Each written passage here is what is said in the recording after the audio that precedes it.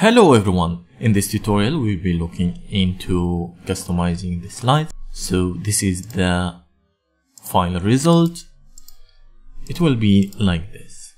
We will be animating the image as well as the slide and making some some custom options to the slide. Let's start by adding ion slides and in ion slides I will add options to be equal option. I will assign this option in TypeScript. Then inside the ion slides, I will be adding a class of ion margin dot. Then inside the slice, I'll be adding the ion slide. And inside this ion slide, I'll be adding the ion card. And inside the card, I will be adding one image like this. I will duplicate this slide for five images.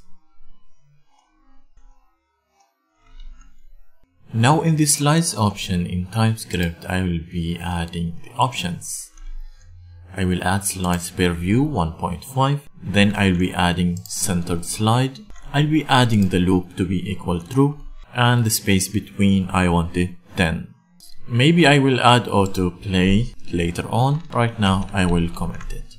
We will go to homepage.scss. I will start by targeting swiper slide active. I want to transform scale to 1.05 so it will be little bit larger. I will target the swiper slide. I will add a transition so while any action it will be it will be with a smooth effect. I will target the ion card. I will add width of 100%, a height of 160 so it will be with a fixed height a box shadow I don't want so I will set it as none. Border radius 12 pixel.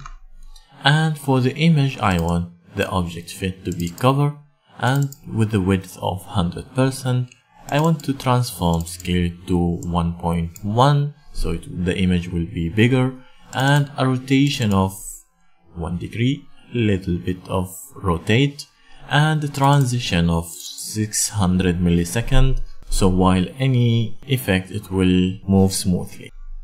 Inside the swiper slide active I will target the image here and I will assign the scale 1 1. So while the slide is active here I want the scale to be normal and if the image here in the different slides the previous and next it will be 1.1 and with the rotation.